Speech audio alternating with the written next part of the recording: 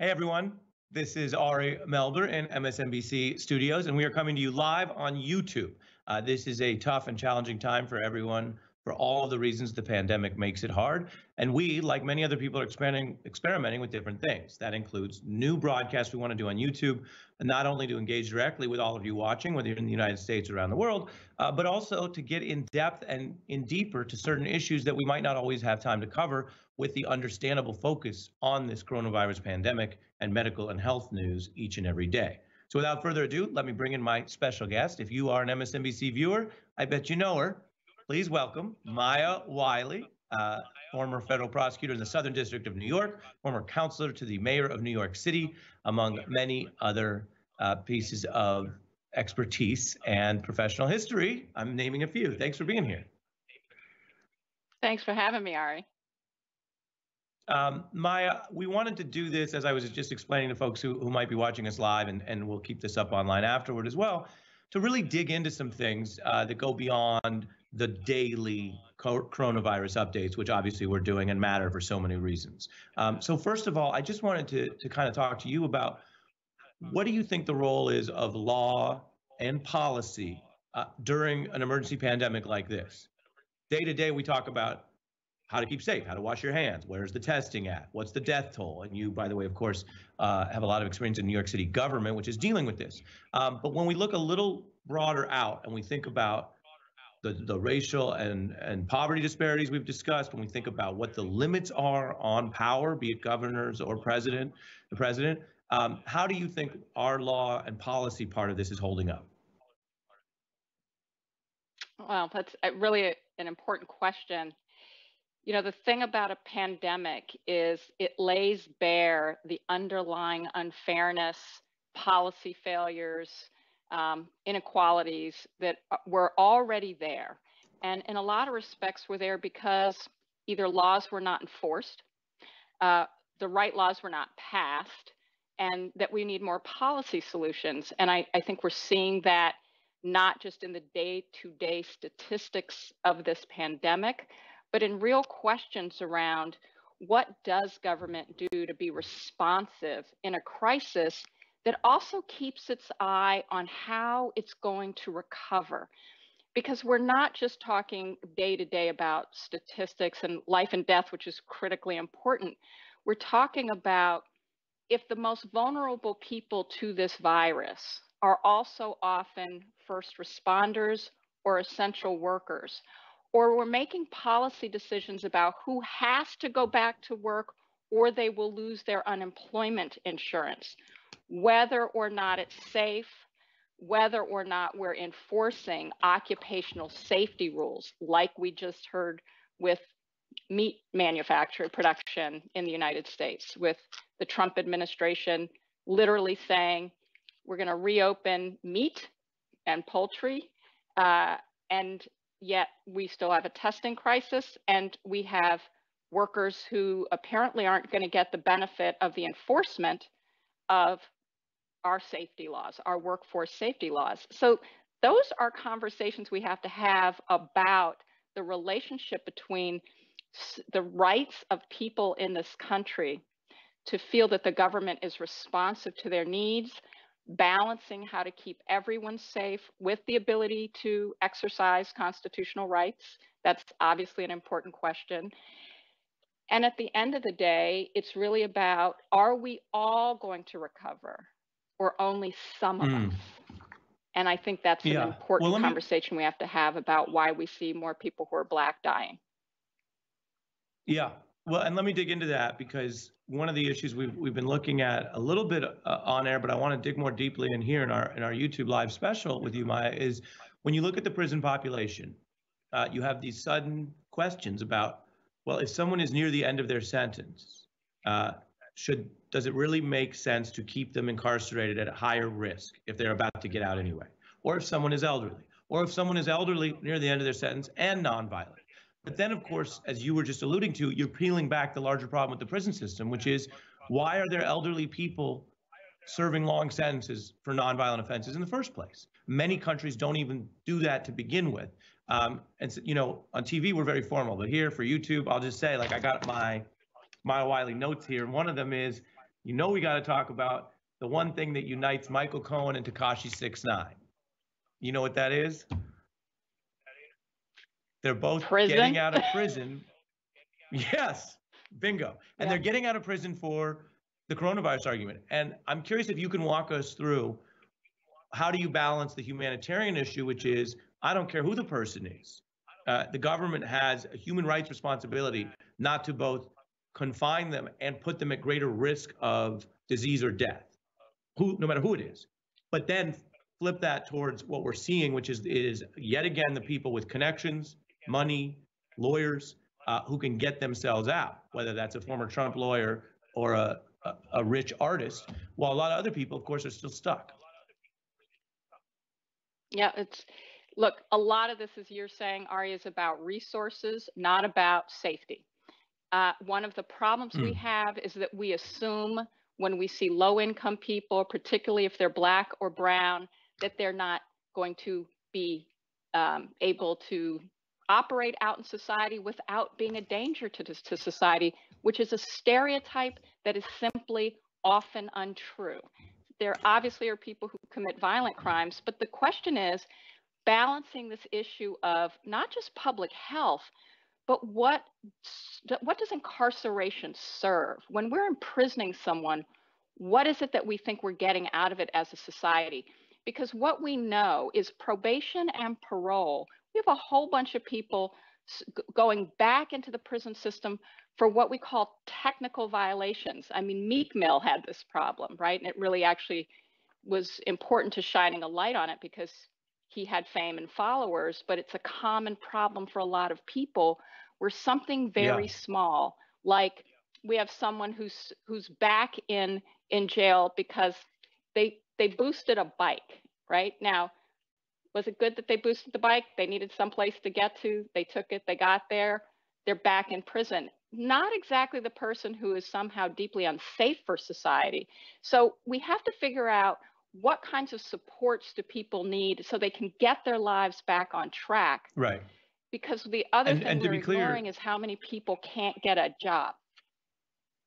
And but part of I just want to be clear, part of what you're getting at is the coronavirus might create the headline where you see Michael Cohen or whomever's out. But you're saying it's the entire underlying system that we're shining a light on that that it was a problem before and will remain a problem until you do the, the that structural reform. That's absolutely right. And you know, we have to be careful how we talk about people like you know Michael Cohen. You know, certainly he is someone who was deserving of getting some some time in prison. At the same time, when you have a pandemic, uh, you certainly don't want all the white collar criminals to be the ones who get out, and other nonviolent offenders because they're poor to stay in. But the reality is, oftentimes the poor people were staying in longer even before the virus for reasons that just had to do with their poverty. So, you know, you, we can be upset about Michael Cohen and whether we think he should have been in or out. I actually think the principle has to be a public health principle, and it has to be right. about whether or not we are giving people the opportunity to live lives without committing crime. And you know, Ari, right. you know, as you and I both know, there's so many people who are committing crimes because they can't get a job. They're they're literally right. not able. They're they're economic crimes of opportunity, or they need drug rehabilitation. We know that when we send people through drug courts and get them into treatment programs, we have a tremendously good success rate, and certainly much more than if we just send them to prison at helping them get their lives back on track. Right. That's actually well, a policy talking, and a legal conversation we should be having.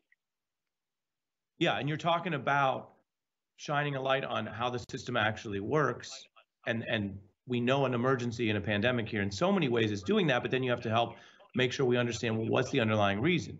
Uh, you know, someone who hops in their Ferrari because they can afford to drive one and goes 100 miles an hour because they feel like it uh, has a very low risk of going to prison, and they are literally putting other people's lives at risk. Uh, and yet we deal with that almost primarily through the civil approach right? When I say to people, oh, on air, I say, oh, Maya Wiley was a civil prosecutor at the SDNY. It means you were working on the civil side, not the criminal jail, prison side. But then you have other people who are doing something that, yeah, as you say, it's not to say it's okay, and there, there should be a system and a sanction perhaps for it. Uh, but the public health and public safety question of do you want to do long term prison sentences for those people? And now we're just seeing a light on that. Another thing I want to get to again, because we're using these live YouTube sessions to kind of hit some things that we don't have as much time for during the daily virus coverage.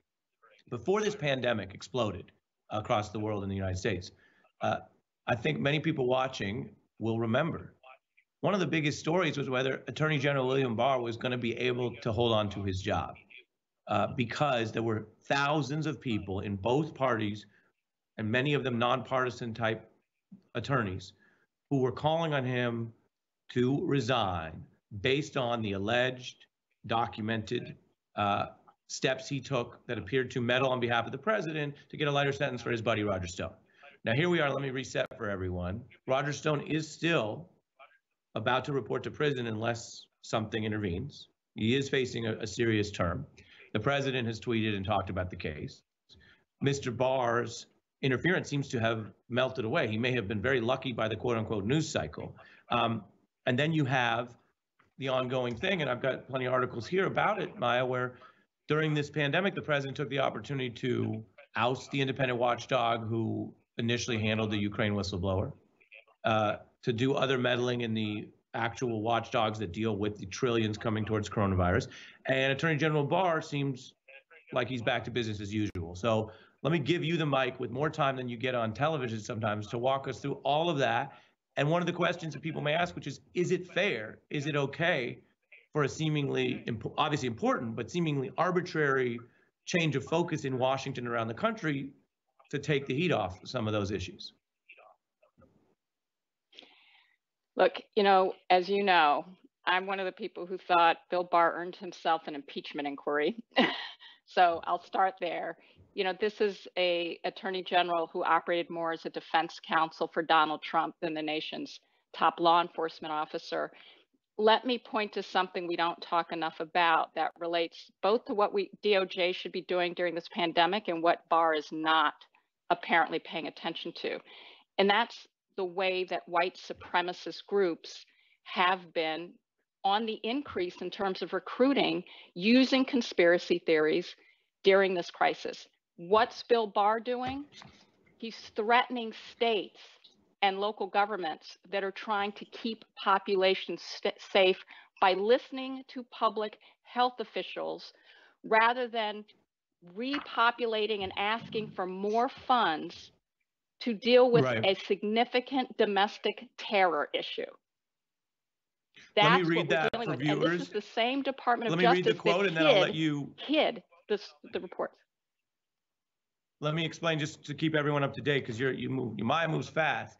Uh, here's what, what, one of the things Mr. Barr uh, is doing, and this is from a new Justice Department memo. Quote: He says many policies that would be unthinkable in regular times have become commonplace, uh, citing the pandemic.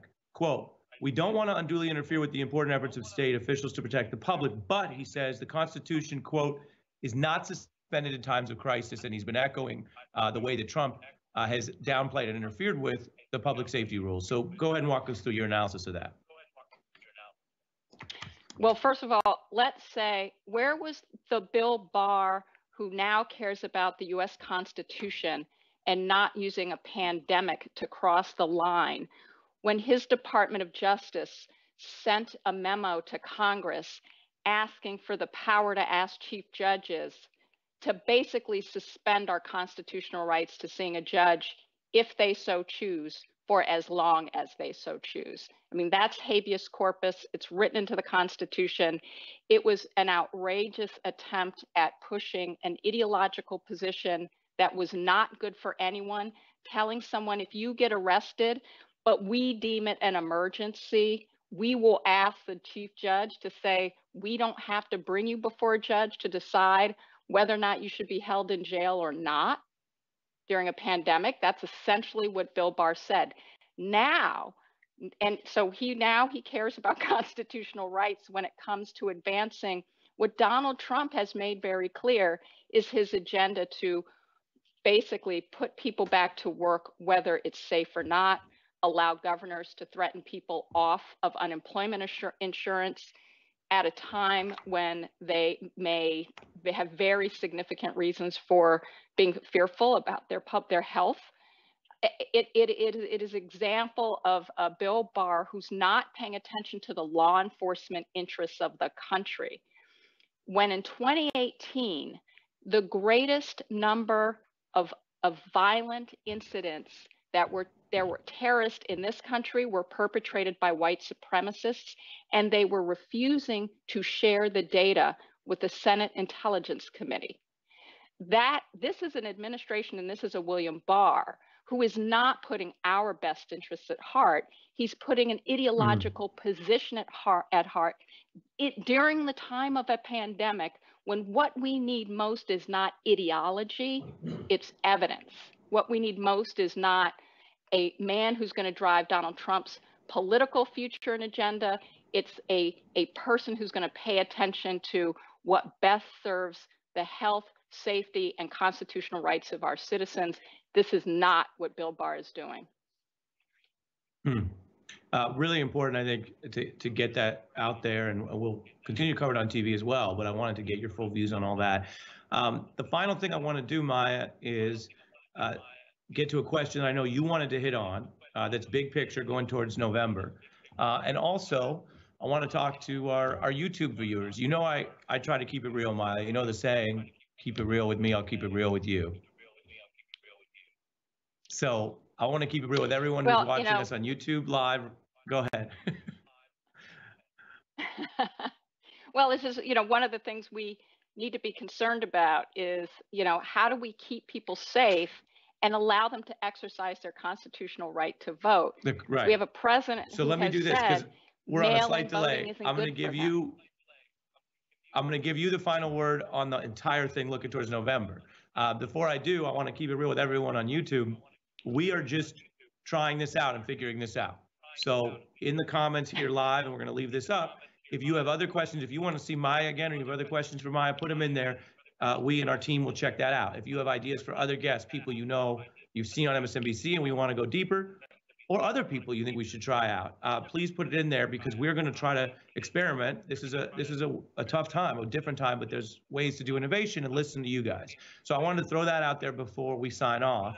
And then I want to give you the final thought, which is Maya, when when we were setting this up, one of the things you said was beyond the daily news, uh, this constitutional rights issue going towards November, voting rights, big, big issue. Uh, walk us through what I think you were starting to do, which is as our, our final question, uh, what are we bracing for in November? How do people exercise their rights if they are still worried about the health risk of going out there, depending on where they live in the situation? Um, and what are the boundaries here? Because you see on the internet, we got people asking, wait a minute, can you just reschedule the, the general election like they did some of the primaries? Yeah, well, I mean, the short answer is only Congress can reschedule the general election, and uh, that's we have the ability to enable people to vote safely. We know how to do it. There's several states in this country that already allow mail-in balloting. New York State, the governor has just said, will allow essentially everyone who wants to to vote absentee ballot for public health reasons. That is something that the federal government should be supporting and resourcing in every single state with an addition for vulnerable populations, that is, people who are low income, people of color, people who are elderly, people who have disabilities, people who live on Indian reservations, who, who need more resource support to understand where and how to vote, uh, who for whom mail-in voting doesn't always work effectively. There are many states that have models and solutions. If this federal government keeps refusing to help bail out states so that they can go back to doing the people's business. You know, governors, both Republican and Democrat, have asked for $500 billion to keep going, to keep serving our residents. But part of that includes the resources to do all the things that they have to do to make sure this is a fair and safe election in November and it's not apparently in Donald Trump's interests. And we as citizens have to fight for the mm. right to vote and demand that the Justice Department ensure that nobody's engaging in shenanigans that impair our lawful right to vote. Hmm. Uh, really well said. It's an important issue. I know it's near and dear to you, and I know uh, you live it as well as talk it because you've done a lot of work out there on this, which is why we rely on you as an expert. I'm not going to speak for anyone else. I will speak for myself and say, for a first test of this, I was very happy to get uh, even more in depth and, and additional ideas and thoughts from Maya Wiley. We'll see what the people say, Maya. And thank you for doing this with me. I appreciate you, Ari. Stay well. You too. Stay safe, everybody. Stay informed. Thank you very much. Thanks for watching uh, this MSNBC Live here on YouTube. Subscribe to MSNBC. Subscribe to Ari Melber. And if you are near TV, check us out 6 p.m. Eastern on the beat. We'll have more tonight. Bye, everybody.